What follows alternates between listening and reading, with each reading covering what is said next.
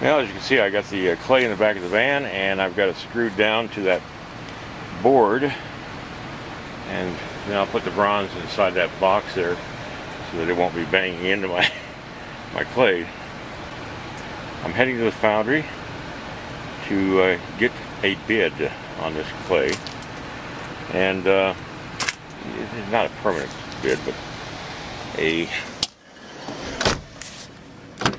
bid that uh, will help me determine what the uh, pricing of the bronze will be once I'm finished. Got the heat going, full blast. So that's what I'm going to be doing today.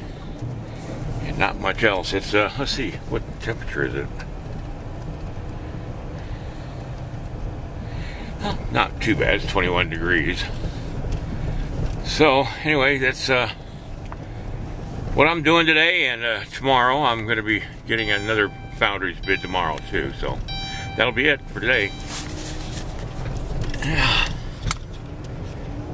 Yeah, well, you got a deer out in the road here. That's not unusual for this time of year. The uh, snow drives them down to the low country to get their feed. There he is.